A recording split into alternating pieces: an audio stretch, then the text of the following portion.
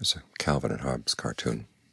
Calvin sitting on a on a sled, top of the hill, and he's thinking, go ahead, go down the hill. You won't run into that boulder. You won't run into that, that stream. It's not too steep. In the last panel he says, my brain is trying to kill me. And that's one of the main problems in life, is your mind is trying to kill you if not kill you physically, kill your goodness, kill your possibility for really getting anywhere in the practice.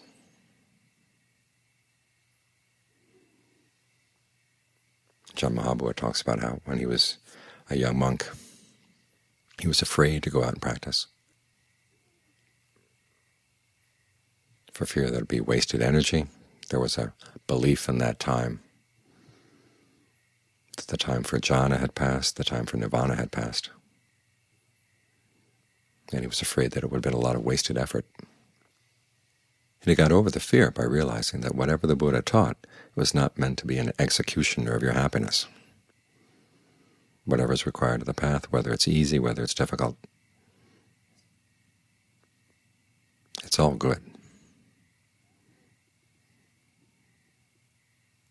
Then it's not that progress happens only when it's easy or when, only when you're enjoying it.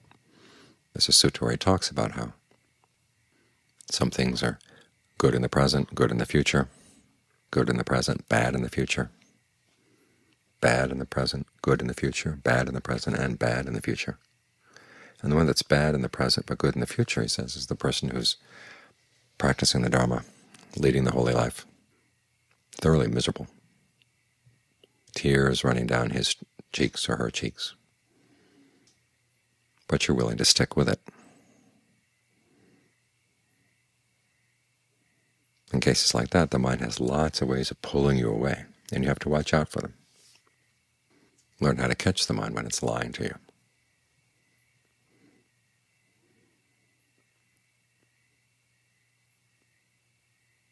Sometimes it comes as psychotherapy saying, well, this is bad for you, it's unhealthy, and all the jargon that therapists have cooked up to keep people from exerting themselves,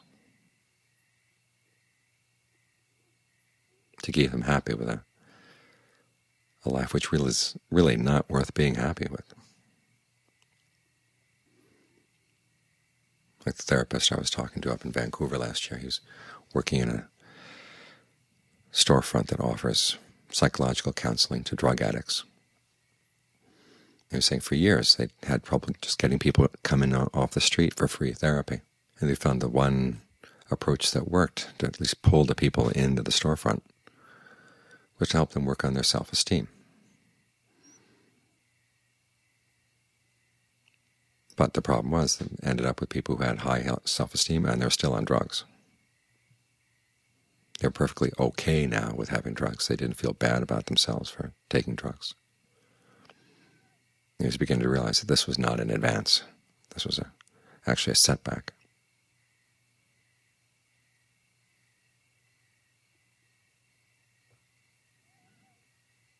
But there is a lot of that in psychotherapy. Therapists will tell you that there are a lot of people who are afraid they're going to lose their clients, so they tell the clients whatever they think the clients want to hear.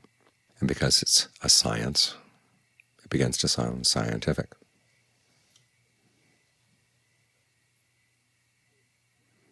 So you have to watch out for that. People even use the Dharma as a way of lying to themselves. They use the wrong Dharma at the wrong time.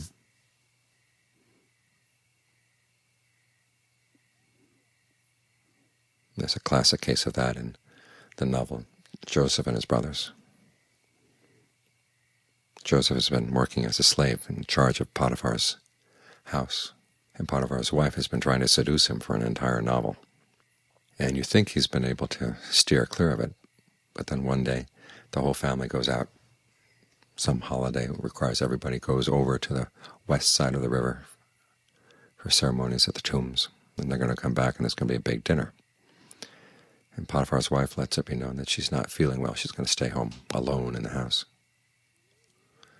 And Joseph goes over with the group to the west side of the river, and then he starts telling himself, gee, you know, as a responsible steward here, I really ought to go back and check the arrangements back at the house. And there's this long series of little maxims that he repeats to himself to convince him that that's his duty to go back.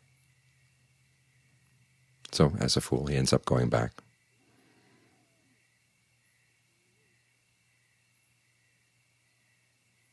And she attacks him physically. He's able to get away, but she has his cloak. It's because of that that he has to go into prison. She accuses him of having tried to rape her,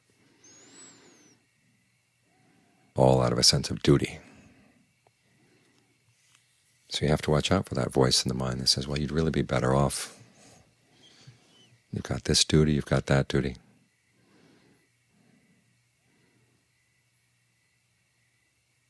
But is it genuinely, genuinely your duty? That's one of the most seductive ways the mind has of lying to itself.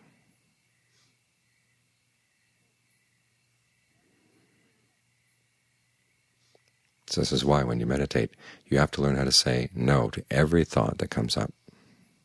It's your first line of defense. That means not just putting it aside, but questioning it. Is that really true? Is that so? Is that so? You could ask. And then watch. Try to keep the mind in position with the breath, or just with the sense of the body in the present moment. staying outside of your thought worlds. And remembering the old principle, don't believe everything you think.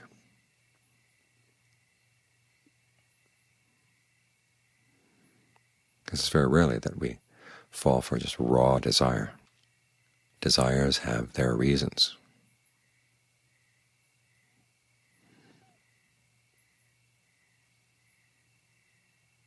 This is an old problem in ancient philosophy.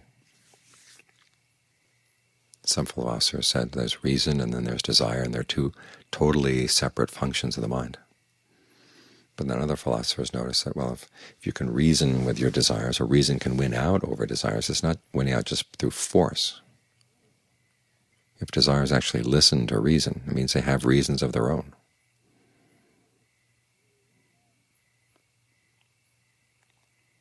And oftentimes they won't tell you what their real reasons are. They have other reasons. They're like politicians.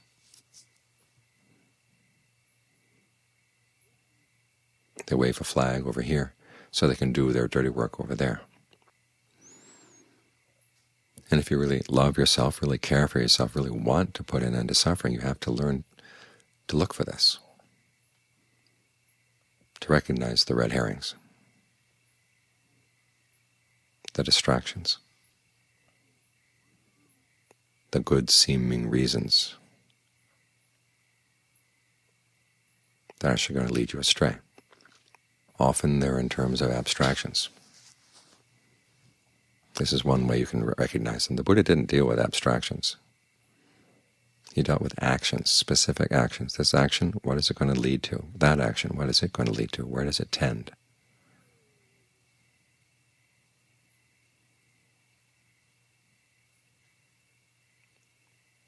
and the more you get pulled off into abstractions, the further and further you get away from the actual action and seeing what the connection is between the action and the result.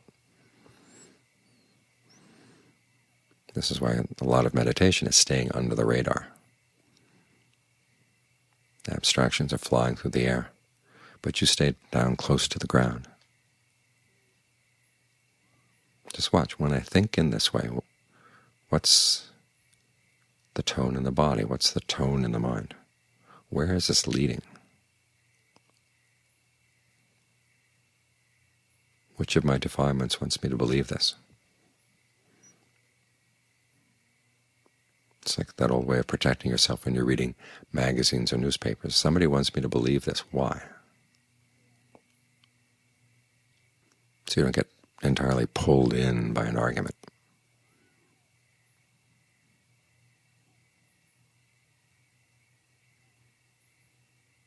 This is one of the important gifts of the practice, is that it gives you a place here with the breath to step back and watch your thought worlds. in terms of cause and effect. Mean, this is how the Buddha said he got onto the path.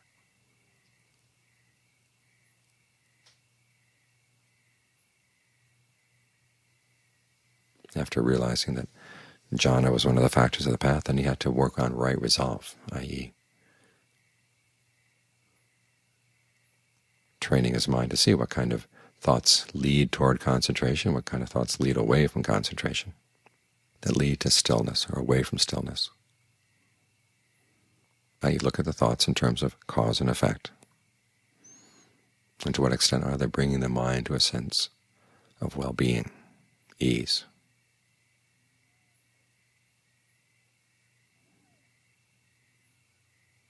Sometimes the path to that ease is going to be hard. The Buddha never said it's going to be easy all along the way. But you have to look in terms of the long-term results of what you're doing. So the concentration, as you're working on it, is basically developing a set of skills so you can gauge what's being said in the mind, so you can figure out who's lying to you, who's telling the truth.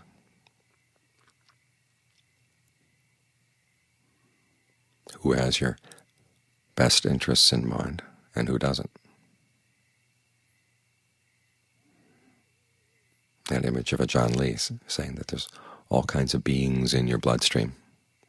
A thought goes through your brain. Well, maybe it's one of those little beings go through the bloodstream around your brain. So you don't have to identify with everything that comes up in the mind or gets lodged as an emotion.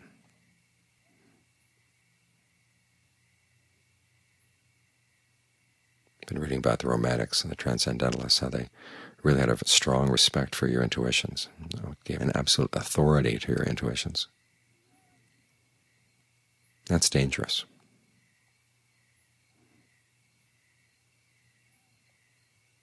You can't give absolute authority to anything. You have to test everything.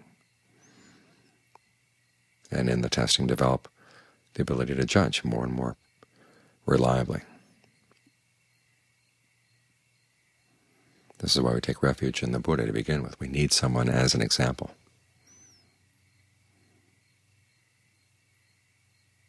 Someone we can compare our thoughts to, our actions to, our words to, until we reach the point where we really can depend on ourselves.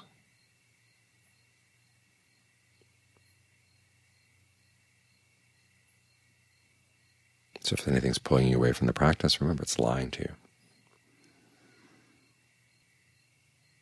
And it's not going to present itself simply as raw desire. It's going to have its reasons. And some of them sound very, very smooth and convincing.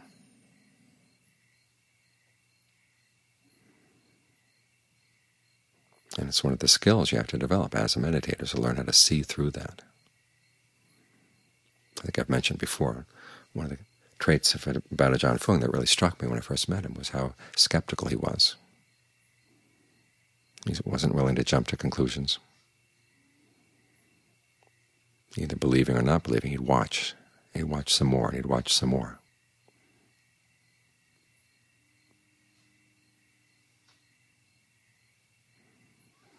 And that's how you can prevent even your, your insights from getting hijacked by your defilements. An insight comes in, pride can arise around it.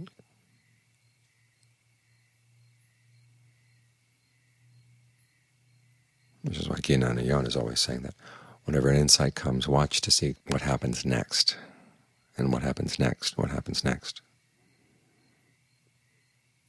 And Ajaan Lee's test would be, well, you get an insight, well, what if the opposite is true? To what extent is what you just learned true? To what extent is its opposite true?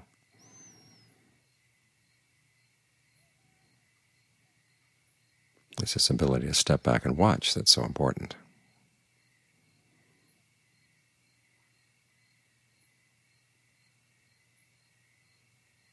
So ultimately you can't see through to the truth.